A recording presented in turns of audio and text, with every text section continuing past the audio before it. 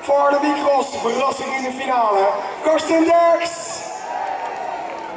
Voor de Willies, Damon, formerly known as Tamon Serval. Pure Factory Rider plate number 17, Take Beats. Gaan naar de plaat nummer 16, Canadian Beast,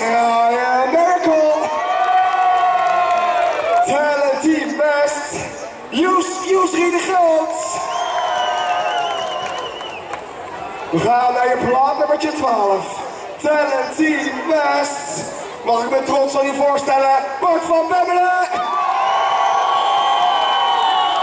Baan nummer 2.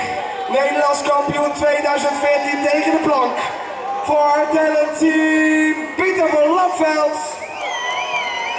En als laatste on the inside, lane number 1. Plaat nummer 14, Pure Factory Rider. Tom Verkaert.